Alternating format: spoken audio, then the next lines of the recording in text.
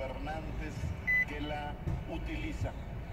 De tal manera que gane quien gane, la institucionalidad democrática que hemos construido garantiza que por encima de estilos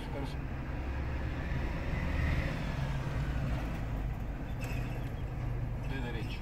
Es cuanto el enfoque noticias les habló Sergio Perdomo Casado.